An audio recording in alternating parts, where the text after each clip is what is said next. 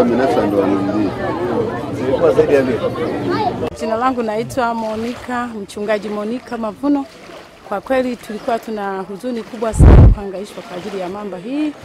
E, kila siku watu wanaenda, kila siku watu wanakufa, na kweli tulikuwa na huzuni kubwa sana, lakini tunamshukuru Mungu amesimama mpaka tukafika na zoezi hili la kuchukuliwa huyu mamba, kawa wameshamteka, lakini tunaomba serikali tusaidie katika ngazi mbalimbali ili tupate msaada mkubwa ili tupate kuwatoa hawa watuepushe majanga ya ajabu hapa duniani. Ila tunamshukuru Mungu amesimama kwa hali kama hii. E, sisi katika huduma ya maji hatuna, tunahangaika, hatuna kisima cha kutusaidia, ndio maana tunazagaa hapa kuja kufua, tunatafuta maji ya kutusaidia katika sehemu ya majini, ila tukipata kitu cha kutusaidia, hata kitu cha, cha kuzingira, ili tupate hata kisima cha maji, tukae huko mbali, ili kuepusha majanga mbalimbali. Kwa jina naitwa Andrea Samueli, mimi ni mchotamaji wa hapa Bukondo.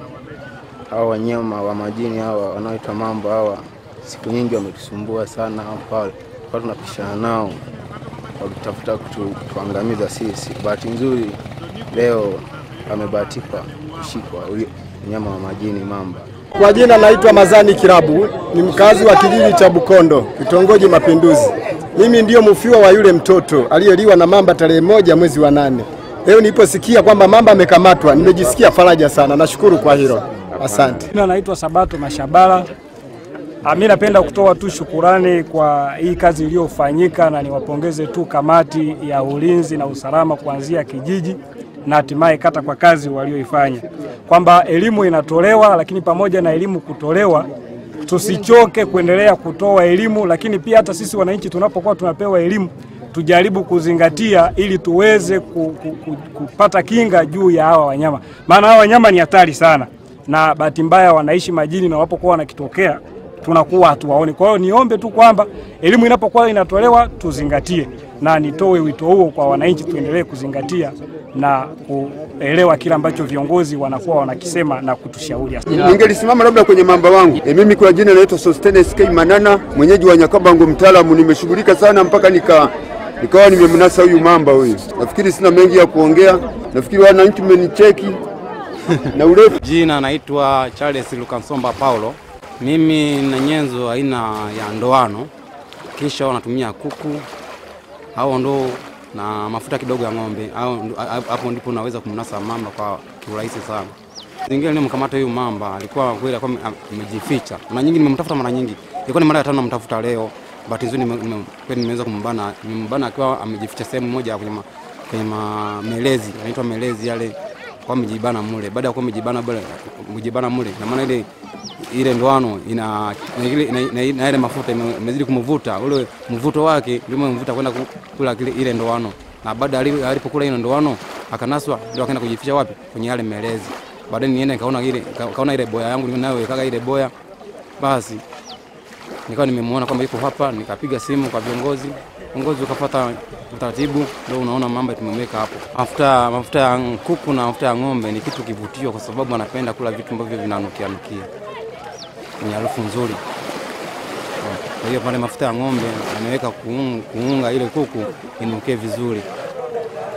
E, ndio maana anafuata ile kwa haraka sana, kama hata kama hata kama yuko wapi mbali, hata kama uko mbali wa mita mita 30 atafuata kuja kula kule mamba. Inaitwa Alphonse Sumwa, ni afisa mtendaji wa kata kata ya Bukono. Nadhani kila mara nimekuwa niki nikisisitiza juu ya heshima ndani ya ziwa. Tukumbuke kuwa mamba eneo ambalo wanatula ni eneo lao sahihi. Kwa sisi ndio tunawafuata katika makazi yao. Tujihadhari, tujikinge na tuheshimu maeneo yote ambayo mamba hawa wanazunguka. Kuanzia mwaka jana, mwaka huu mwezi wa nne mpaka sasa tumepoteza ndugu zetu watano. Huyu ndio mtoto wa mwisho kwa hiyo kabidi tutumie njia mbadala ya kumtafuta mamba huyu. Tumechukua maliasili Mwanza, tumechukua maliasili Geita, lakini hatukuweza kufanikisha. Sasa leo tumemfanikisha, lakini tukumbuke hakuwa yeye peke yake, kwa sababu ni vijiji tofauti mambo wamekuwa akila. Naombeni tuchukue tahadhari, ingawa bado tunaendelea na kazi, lakini tuchukue tahadhari, hasa wazazi. Si vyema kutuma watoto ziwani. Watoto hawa ni rasilimali, tunapowapoteza tumepoteza nguvu ya taifa.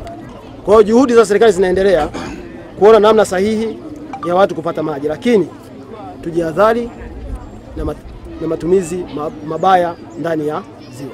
Naitwa Msese Kablizina, afisa wanyamapori halmashauri ya wilaya Geita.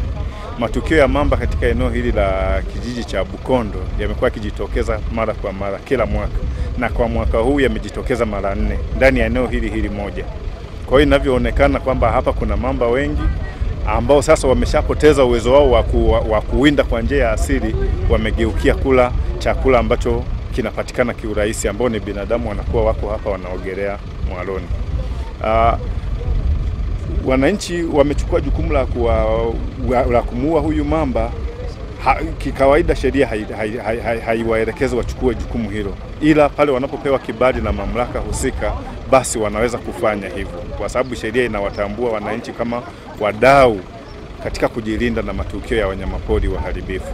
Kwa hiyo hatu, haturuhusu sana kwamba wananchi wao wanachukua matukio na ni sheria mkononi kuua hawa wanyama. Ni mpaka sisi wenyewe tuwe tumetoa ruhusa hiyo kwa kibali maalum ambacho kinatoka kwa mkurugenzi wa idara ya wanyamapori. Vigezo ni kwamba kama eneo limeshakuwa ni, ni sugu kwa matukio hayo, kwa mfano hapa ni watu kila mwaka wanapoteza maisha, kama nilivyotangulia kusema kwamba kwa mwaka huu ni mara nne sasa wanya, wa, binadamu wana, wanaliwa hapa na mamba. Kwa hiyo hii inatosha tu kuona kwamba kuna tatizo kubwa hapa. Unaona, kwa hiyo inapotokea kwamba kuna shida, sisi wenyewe tunapokuja huku tunajitahidi kuwawinda hawa mamba, lakini kwa nature ya mazingira yalivyo sasa hivi, maji ni mengi, miti ni mengi iliyopandwa kando kando ya ziwa, inakuwa ni ngumu kuwaona mamba kwenye maficho yao. Kwa hiyo wananchi kupitia njia zingine wanakuwa wana uwezo wa kuweza kuwawinda. Kwa hiyo inapotokea kwamba wana uwezo huo, chini ya usimamizi wetu tunawaruhusu, japokuwa sio kwa kiwango kikubwa, angalau tuue mmoja ili kusudi kuweza kurudisha ile hali ya, ya utulivu kwenye eneo husika.